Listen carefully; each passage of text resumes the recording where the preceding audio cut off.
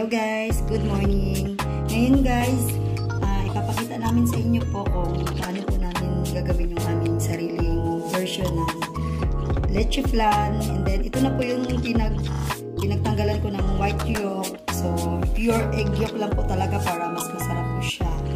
Tapos, uh, mamaya kapag na-mix na natin ito, kukunin po natin kukunin po natin yung may mga matitigas-tigas na part dito sa egg yolk po.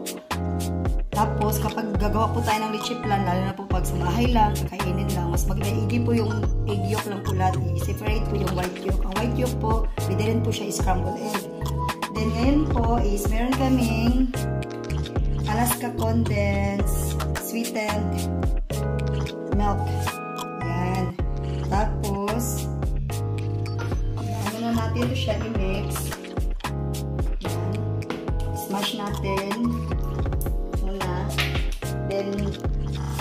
Haluan po namin ng Nestle cream para mas creamy siya tapos mas masarap, mas kinasarap po. Mix muna natin. Ang nilagay namin dito guys is 30 egg. Tapos ngayon guys, ihalo ko na yung condensed milk.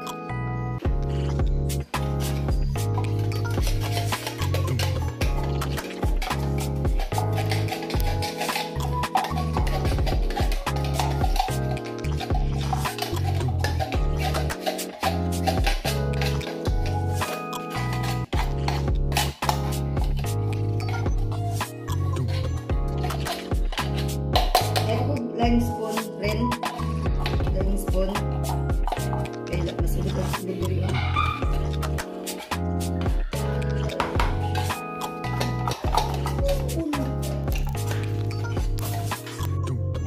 So, lang din sa. Para lalong masarap. Tama yung kamis niya. 30 egg po yung ginawa kong mission lang. Tapos, ako na po siya sa Nachato ko na po siya sa dalawang alas na condensed milk.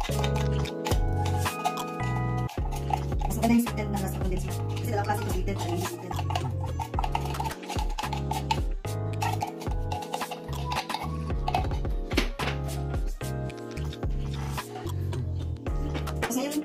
Guys, nalagay ko na ako ang niya.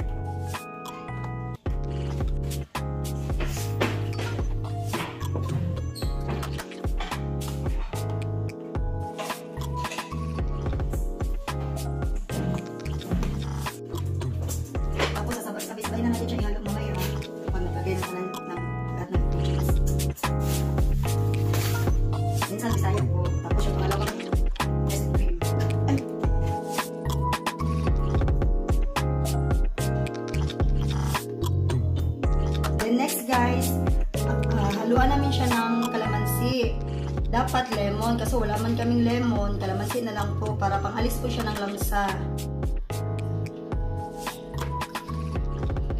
Hindi, hindi po siya, hindi po ito aasi, pangalis ito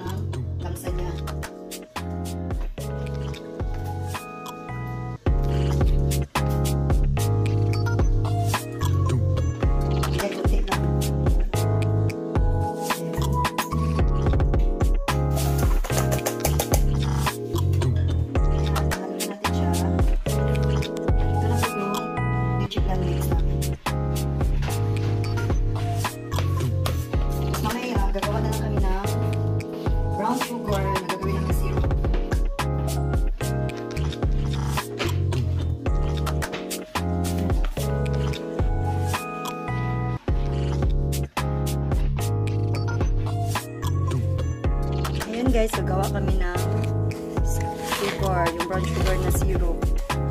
Gawin na siyang syrup po. Tayo lang natin siyang matunaw.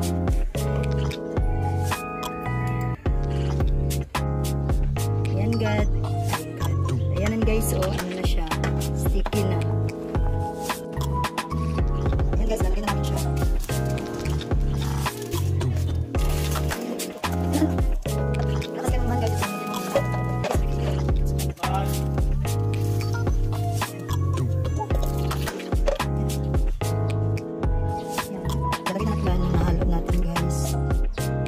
Wala kasi kami hulmahan. Ito na naman.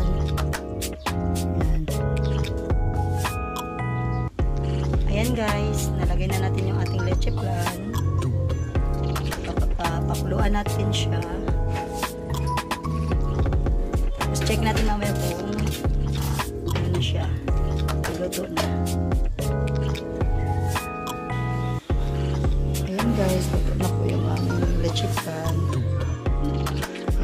Tatransfer na namin siya sa lalagyan. Mamaya.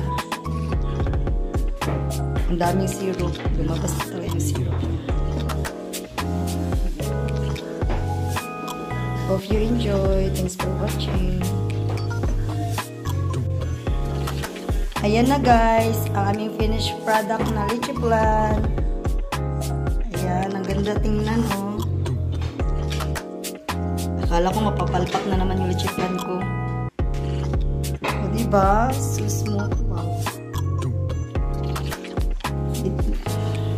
Galing ko sa ano, sa maliwanag. O diba?